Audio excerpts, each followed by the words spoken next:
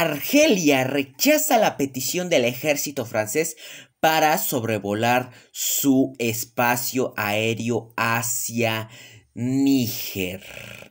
Así es como lo oyen. Argelia, una de las grandes potencias del continente africano, habría negado a aviones militares franceses sobrevolar su espacio aéreo debido a las intenciones de estos para contra Níger, según una fuente citada por la radio pública argelina. Recordemos que el gobierno de Argelia, al mando del presidente Abdelmayib Tebune se había unido a los llamados de Burkina Faso y Mali a rechazar la posible intervención armada de París Sedao contra Níger para derrocar a la junta golpista.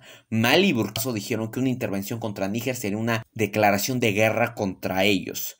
Pero Argelia también se unió al llamado y tal vez no entre este, al conflicto de manera física o de manera completamente directa. Ante este rechazo de Argelia, París encontró un sí por parte del jurado enemigo de los argelinos, el reino alagüita de Marruecos. Y eso pone mucho peor la situación en Níger, ya que de estallar, pues tendríamos involucradas tal vez no de manera directa, pero sí de manera logística a dos de las grandes potencias del continente africano. De verdad la rivalidad entre Marruecos y Argelia nos daría para todo un video. Pero si estos dos gigantes se ven involucrados, aunque sea de manera indirecta y solo política y logística, harán que este conflicto sea mucho más cruento. Y ya no hablemos de que estos dos países se involucren de manera directa mandando tropas, porque si no, de verdad, esto será una devastación en el continente africano. Al verse involucrados estos dos países en las tensiones solo hace de que estallar la situación